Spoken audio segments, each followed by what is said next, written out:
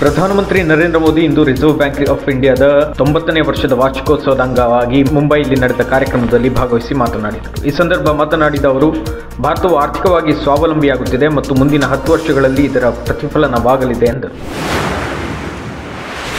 ರದ್ದಾಗಿರುವ ದೆಹಲಿ ಅಬಕಾರಿ ನೀತಿಗೆ ಸಂಬಂಧಿಸಿದ ಮನಿ ಲಾಂಡರಿಂಗ್ ಪ್ರಕರಣದಲ್ಲಿ ಬಂಧನಕ್ಕೊಳಗಾಗಿರುವ ದೆಹಲಿ ಮುಖ್ಯಮಂತ್ರಿ ಅರವಿಂದ್ ಕೇಜ್ರಿವಾಲ್ ಅವರನ್ನು ಸೋಮವಾರ ದೆಹಲಿ ನ್ಯಾಯಾಲಯವು ಹದಿನೈದು ದಿನಗಳ ಕಾಲ ನ್ಯಾಯಾಂಗ ಬಂಧನಕ್ಕೆ ಒಪ್ಪಿಸಿದ್ದು, ಅವರನ್ನು ತಿಹಾರ್ ಜೈಲಿಗೆ ಕಳುಹಿಸಲಾಗಿದೆ. ಕೇಜ್ರಿವಾಲ್ ಅವರನ್ನು ವಿಚಾರಣೆ ನಡೆಸಿದ ವಿಶೇಷ ನ್ಯಾಯಾಧೀಶರಾದ ಕಾವೇರಿ ಬವೇಜಾ ಆರೋಪಿಯನ್ನು ಏಪ್ರಿಲ್ ಹದಿನೈದರ ತನಕ ನ್ಯಾಯಾಂಗ ಬಂಧನಕ್ಕೆ ಒಪ್ಪಿಸಿದರು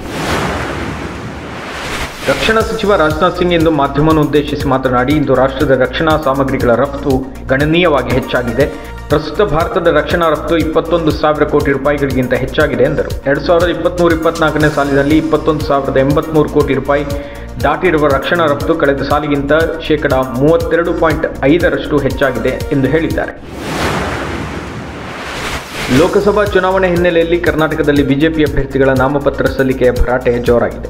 ಹಲವು ಕ್ಷೇತ್ರಗಳಲ್ಲಿ ಬಿಜೆಪಿ ಅಭ್ಯರ್ಥಿಗಳು ನಾಮಪತ್ರ ಸಲ್ಲಿಸಿದರು. ಮೈಸೂರು ಬಿಜೆಪಿ ಅಭ್ಯರ್ಥಿ ಯದ್ವೀರ್ ಕೃಷ್ಣದತ್ತ ಚಾಮರಾಜ ಒಡೆಯರ್ ಅವರು ನಾಮಪತ್ರ ಸಲ್ಲಿಸಿದರು. ಇಂದು ಮುಂಬೈ ವಾಂಖಡೆ ಸ್ಟೇಡಿಯಂನಲ್ಲಿ ನಡೆಯಲಿರುವ ಐಪಿಎಲ್ ಪಂದ್ಯಾವಳಿಯಲ್ಲಿ ಮುಂಬೈ ಇಂಡಿಯನ್ಸ್ ತಂಡವು ರಾಜಸ್ಥಾನ್ ರಾಯಲ್ಸ್ ತಂಡವನ್ನು ಎದುರಿಸಲಿದೆ. ಸಾಯಂಕಾಲ ಏಳು ಮೂವತ್ತಕ್ಕೆ ಪಂದ್ಯಾವಳಿ ಆರಂಭವಾಗಲಿದೆ.